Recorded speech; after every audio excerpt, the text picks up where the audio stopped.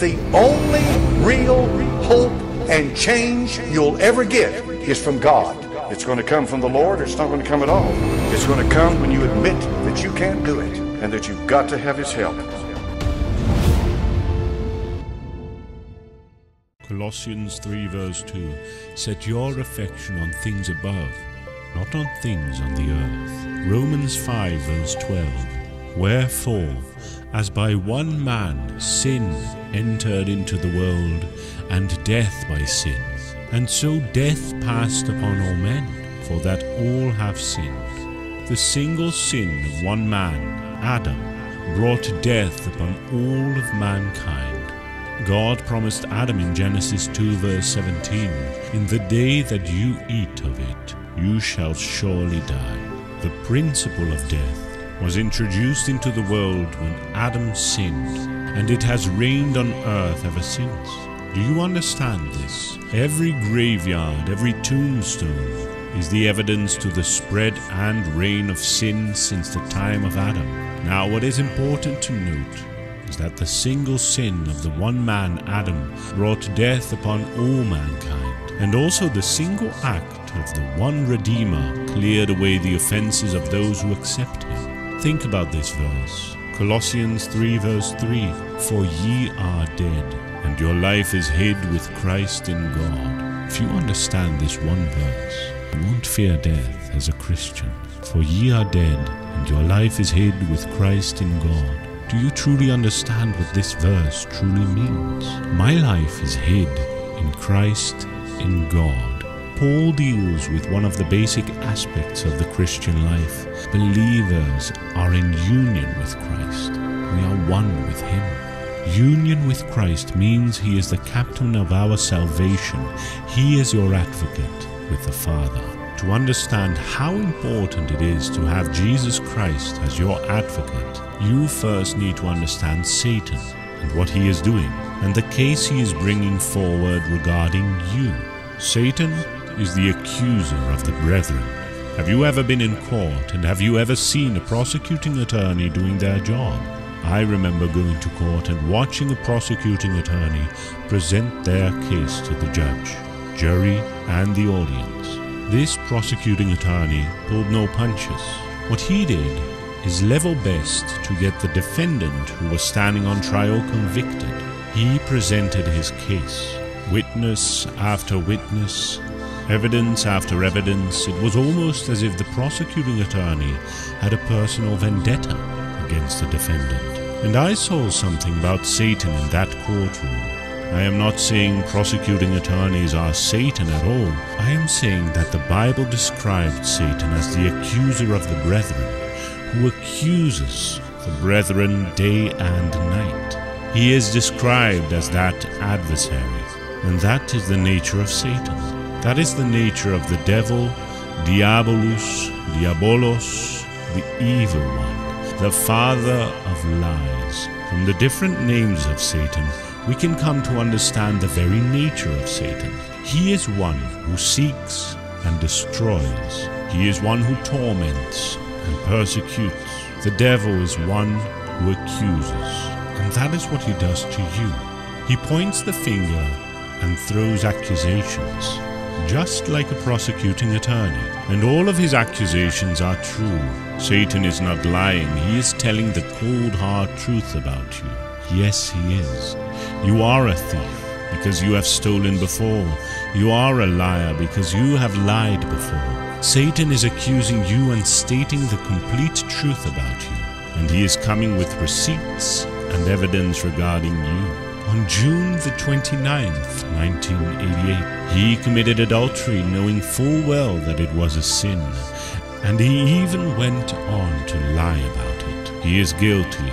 On July the 7th, 2010, she prayed to you and promised you she will never commit that sin again. Just 10 days later, she broke her promise and committed that exact same sin again. She is guilty. He is guilty. He has fornicated. She is guilty. She divorced her husband when she had no biblical grounds for divorce.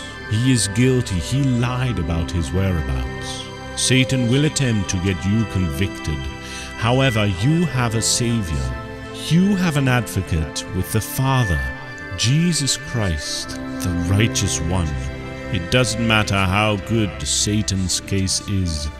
It doesn't matter how much evidence he has collected against you, you have an advocate with the Father, an advocate who knows all the correct terminology, an advocate who will stand up for you on your behalf. And do you know what a sobering thought is? The sobering thought is that your advocate, Jesus Christ, the righteous one, agrees that you are indeed guilty. And he agrees that all evidence shows and proves that you are guilty.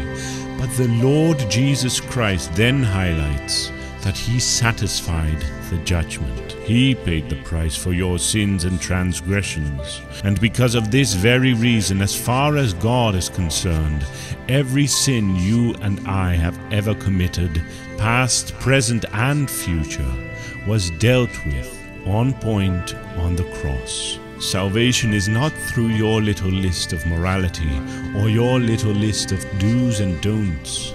Salvation is through one man, and that is our Lord Jesus Christ. For the saint in God, born again believer, your life is hid with Christ in God. And there will come a time where you take off the corruption and put on the incorruption. A time where you will say goodbye to the temporal and hello to the eternal. There will come a time when God will call you and me home, and this flesh will fall back to the ground from whence it came from. But when this happens, that is not the end for a believer, because your life is hid with Christ in God.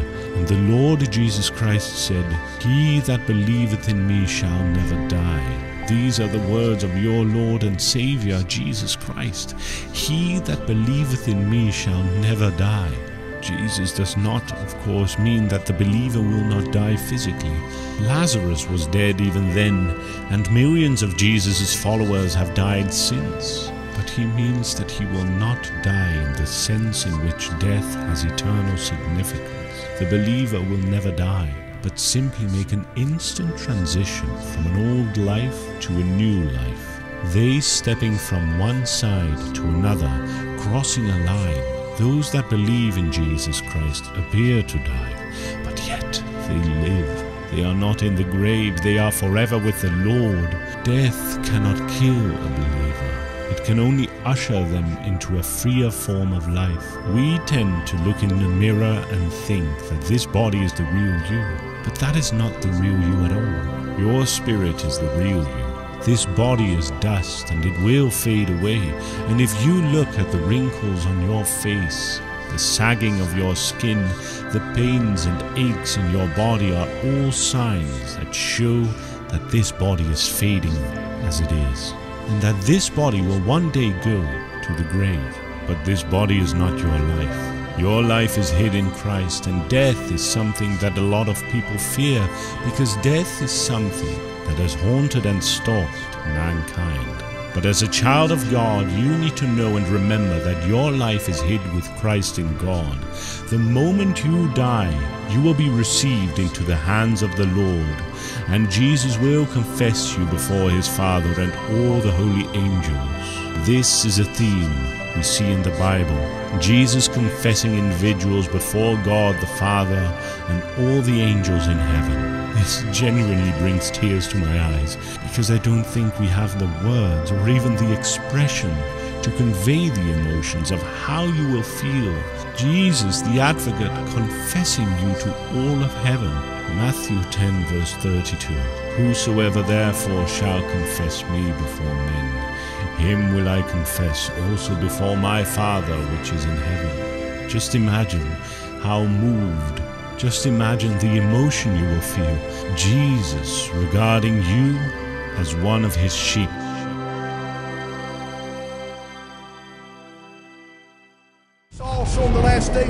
Perilous times shall come, for men shall be lovers of their own selves, covetous, boasters, proud, blasphemers it takes the grace of God to change us, folks. How can you be saved if you're not willing to repent? And the Lord Jesus Christ said, Except ye repent, ye shall all likewise perish.